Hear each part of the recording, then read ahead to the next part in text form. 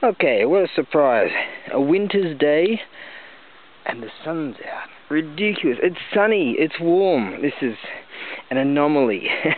the last few days, unbelievably cold. Okay, what we have here is a Goju no Toro.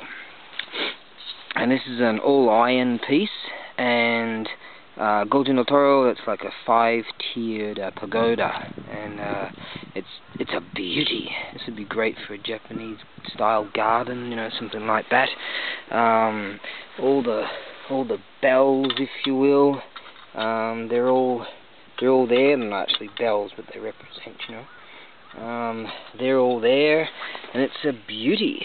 And because uh, the last few days I I've been I bought so much stuff. What I'm going to have to do is just sell a whole bunch of stuff off really cheap to try and recoup some of the the uh, funds that I kind of went a bit wild there, spent a bit too much. So this is going to be really cheap, um, but it's a beauty. I mean, it's just good, and so that's the way it is. That's awesome.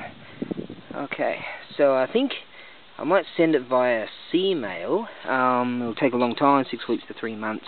I could send it via SAL Economy Air, but I think best thing to do, you know, just to reduce the costs, um, freight costs completely, because obviously it is heavy. Um, yeah, via sea. Uh, if you want it faster, then obviously it's more expensive. Let me know. Um, but probably sea mail is just the best way to go with this. And uh, it's it's lovely and that that will be in your garden. So there you are. Okay.